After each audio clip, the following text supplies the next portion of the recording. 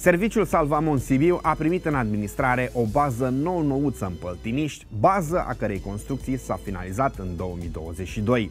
Consiliul Județean Sibiu a finalizat proiectul bazei Salvamont Păltiniști după 2 ani de la debutul lucrărilor și circa 3 ani de la semnarea contractului de finanțare.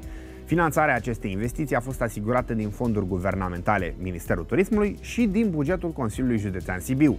Valoarea totală a contractului de finanțare a fost de 3,5 milioane de lei, din care contribuția Consiliului Județean Sibiu 1,3, iar contribuția Ministerului Turismului de 2,25 milioane de lei.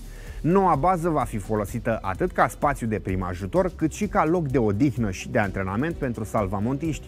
Este dotată cu un garaj pentru toate vehiculele din posesia Serviciului de Salvare Montană, dar și cu un perete de escaladă pe care salvamontiștii îl vor putea folosi în antrenamentele de perfecționare a tehnicilor de salvare. Este într-adevăr una dintre cele mai frumoase și mai utile baze salvamont din întreaga țară.